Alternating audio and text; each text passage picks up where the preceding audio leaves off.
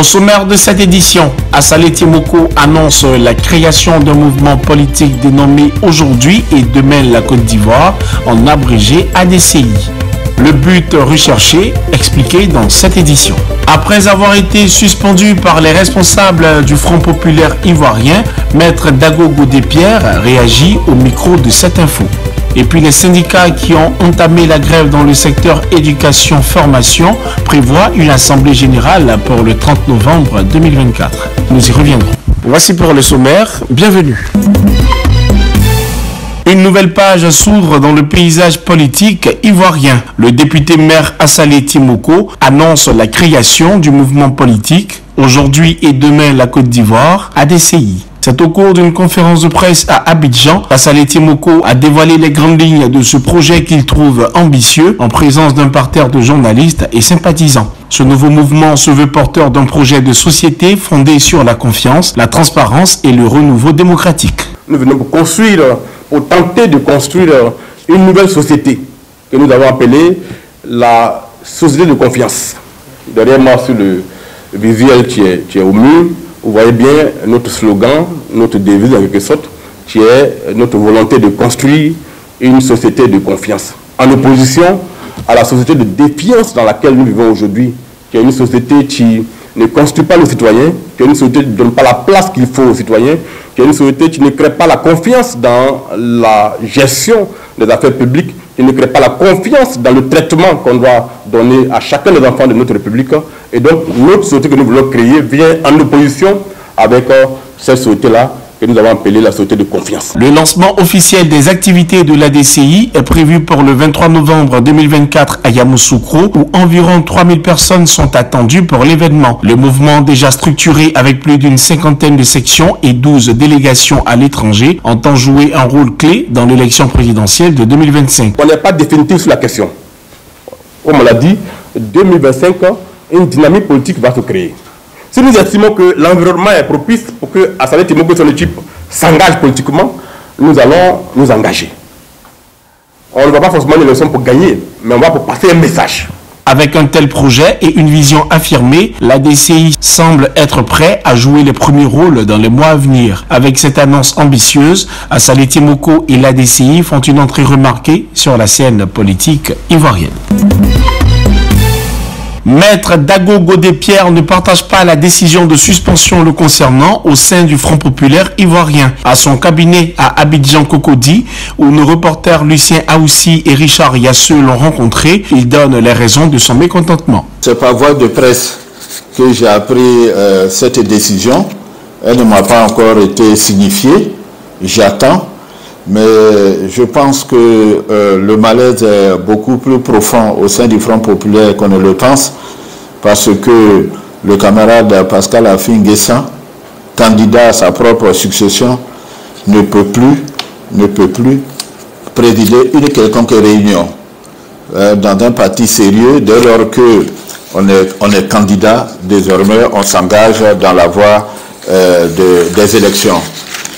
Et au Front populaire, au Front populaire, il est clair en vertu de nos principes affirmés dans le préambule que dès lors, euh, euh, que le président, premier personnel du parti, fait acte de candidature à sa propre succession, il ne peut, il ne doit, il ne devrait plus prendre de décision aussi longtemps que sa réélection n'aura pas été assurée lors d'un congrès régulièrement convoqué. La décision de sa suspension a été prise le dimanche 20 octobre au cours d'une réunion du comité central du FPI. Les dirigeants de ce parti politique lui reprochent d'avoir assigné le parti en justice pour contester une autre décision le concernant. Pour Dago Godépierre, il s'agit d'une sanction qui n'est pas conforme au texte de la formation politique à laquelle il appartient.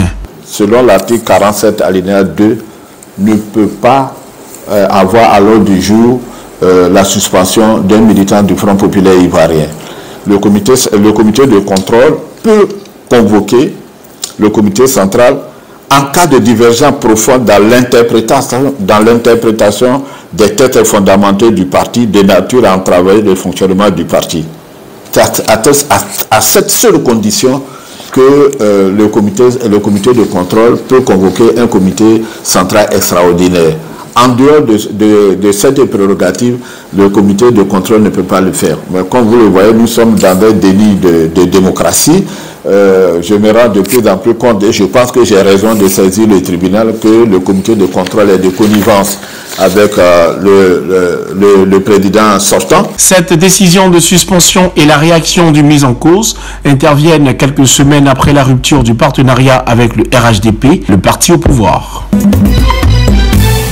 La grève dans les secteurs de l'éducation et de la formation a atteint un taux de suivi de 94% à l'échelle nationale. L'information est donnée par Bliblé David, porte-parole des syndicats grévistes. Selon lui, le mot d'ordre de grève pour l'heure est loin d'atteindre son épilogue. Nous venons de démontrer à l'opinion nationale et internationale que notre lutte pour l'octroi d'une prime trimestrielle d'incitation reste la priorité de nos priorités.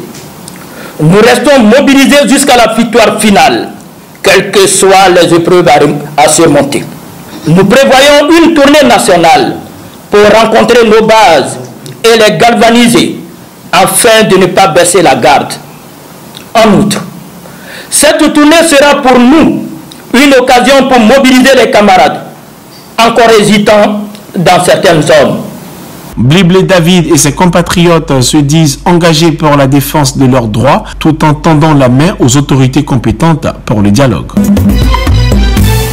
La marine nationale ivoirienne est désormais dotée d'un nouveau patrouilleur de type OPV-45. Présenté à la base navale annexe au plateau, il a été baptisé Vaillance. Ce moment solennel a réuni les officiers supérieurs de l'armée ivoirienne. La marine nationale vous remercie pour votre présence distinguée ce matin et vous souhaite une cordiale bienvenue à cet événement lié à la mer et surtout au baptême d'un patrouilleur de haute mer qui incarne l'engagement de lutte de notre pays pour la protection et la préservation de son espace Avec une longueur de 46,80 mètres, une largeur de 8,63 mètres, un tirant d'eau de 2,40 mètres, il fait partie des fers de lance de la marine ivoirienne. En termes d'armement, il dispose d'un canon Typhon MK23, de mitrailleuses de 12,7 sur les côtés et une autonomie en mer de 15 jours. À cette cérémonie, les 24 membres de l'équipage ont été décorés au titre d'officier de l'ordre du mérite Je peux vous confirmer sans me tromper que ceci traduit la montée en puissance de la marine nationale pour faire face, euh, comme vous le savez, à tous les défis en mer, que ce soit donc euh, les pilleurs euh, des ressources halieutiques, que ce soit les, narcotrafiquants, que ce soit d'autres acteurs de toutes sortes qui, qui écument, les mers. Et je dois dire que ceci est une très bonne chose. Avec ce tout dernier patrouilleur auturier, la marine ivoirienne est désormais capable de couvrir une plus vaste partie de son espace maritime et de faire face aux menaces qui pèsent sur ses eaux. C'est tout pour ce 7 minutes. Merci de l'avoir suivi. Restez sur cette info. Les programmes se poursuivent.